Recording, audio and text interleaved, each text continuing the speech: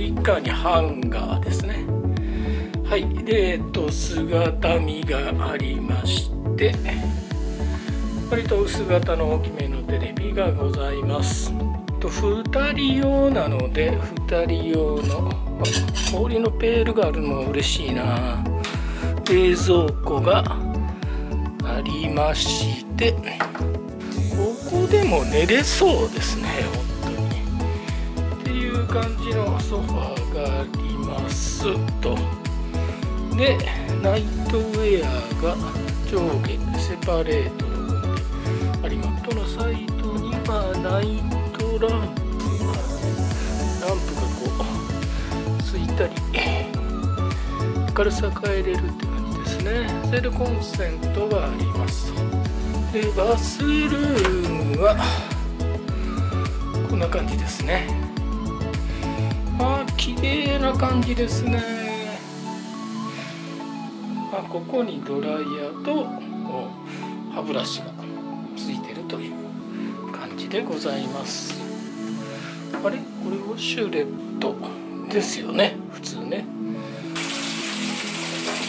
まあこれぐらい。そんなに高くもないけどそんなにふにゃふにゃでもない。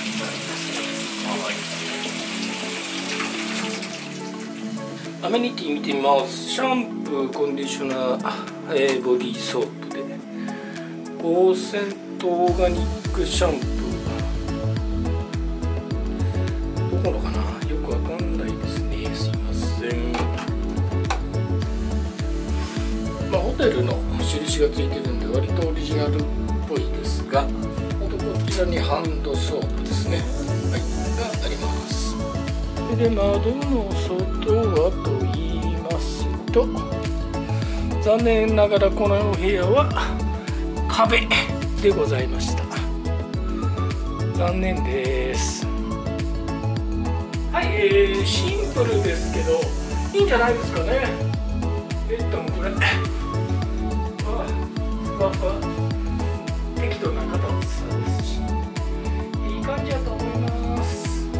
さんも神戸にお越しの説はぜひご利用されたらいかがかなと思います。はい、えー、後でちょっと館内も行きたいと思ってますがとりあえず部屋の中のご紹介は、えー、以上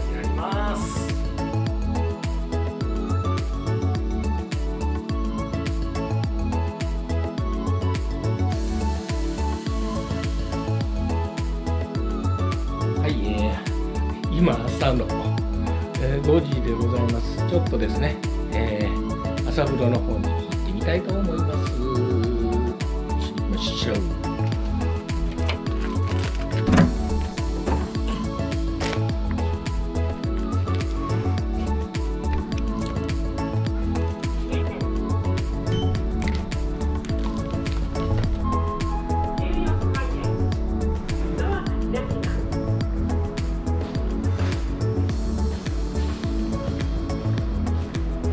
んな感じですね。こっちの方向ね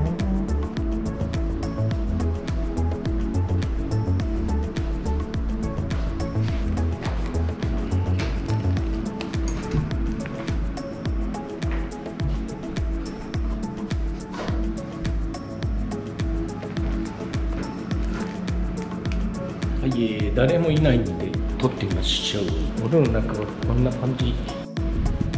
寒い。露天風呂があります。気持ちよさそうですね。はい